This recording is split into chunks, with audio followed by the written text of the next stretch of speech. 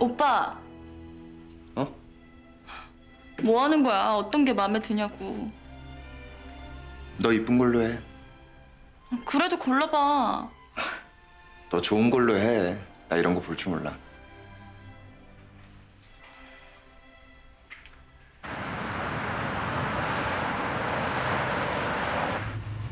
엄마가 서울호텔 예식장 보러 가신대. 어, 청첩장 빨리 만들어야겠어. 샘플 몇 가지 뽑아놨는데 볼래? 어, 나, 나중에. 문자로 보내줄게. 보고 골라봐. 무슨 생각해? 아까부터 멍 때리더니 뭐 고민 있어? 아니.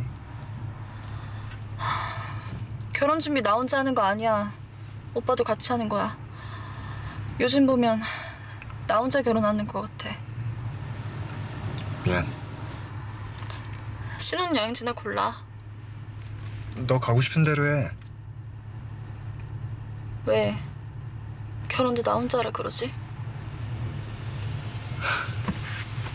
그건 아니고.